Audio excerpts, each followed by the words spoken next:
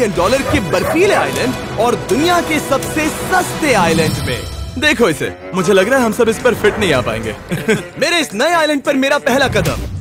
ये लो तुम्हारा एक डॉलर शुक्रिया सर मुझे बेचने के लिए शुक्रिया। ये तुम्हारा हुआ दोस्त। चलो देखते हैं मैंने क्या खरीदा। मैंने जितना सोचा था ये उससे काफ़ी ज़्यादा छोटा निकला। एक डॉलर में आपको मिलता है ईटों का ढेर और एक पुराना कमोड। मुझे बाथरूम मिल गया। और ढेर सारे लकड़ी के खंभे ये तो यहाँ पर ज़मीन नहीं है जितने यहाँ पर लकड़ी के हैं। इन्हें पायलेंस कहते हैं। बोट में बैठ के निकलते हैं। और जैसा की आप देख सकते हैं यहाँ कुछ भी नहीं है। तो मैं इसे उड़ाने वाला हूँ।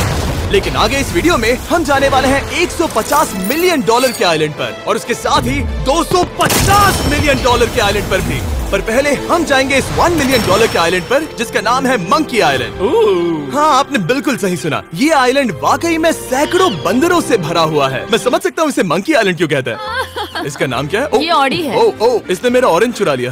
ओके खाना दिखा नहीं कि टूट पड़ा। इस आइलैंड के सभी बंदरों के पास अपना पेट भरने की एक स्ट्रेटेजी है। वो आपको विश्वास दिलाएँगे कि वो आपके दोस्त हैं और फिर आपका खाना छीन लेंगे। तुम ले सकते हो तुम ले सकते हो। मुझे ये बंदर बहुत पसंद है। एक तो हमारी बोट पर ही चढ़ गया। और अगर आप सोच रहे हैं कि आप और आपके दोस्त इस आइलैंड पर कहाँ सोएँगे तो पानी के ऊपर छह लग्जरी कबानास बनाए गए हैं जिनमें इंसान और बंदर दोनों रहते हैं। वो बंदर हमारा गोप्रो ले जा रहा है जिमी। सर हमें इसमें वीडियो शूट करना है। क्या मुझे ये उधार दोगे? आ, शुक्रिया। ओके मुझे कैमरा वापस मिल गया। क्या तुम्हें उप्स ओह तुम्हारी टोपी। इसे तुम्हारी हैट चाहिए। ओके आप इसे ले सकते हैं सर। लगता है ये दोनों धीरे धीरे मेरे सारे कपड़े चुरा लेंगे। और इस आइलैंड की सबसे कूलेस्ट चीज़ ये बंदर नहीं है क्योंकि ये आइलैंड असल में एक आइलैंड है ही नहीं। दरअसल ये एक बड़े से अंडर वाटर प्लांट नेटवर्क का ऊपरी हिस्सा है जो रेत और पानी से निकलकर एक आइलैंड का इल्यूजन देता है।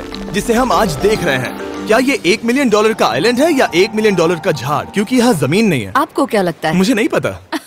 मैं तो इसे एक आइलैंड ही कहूँगा।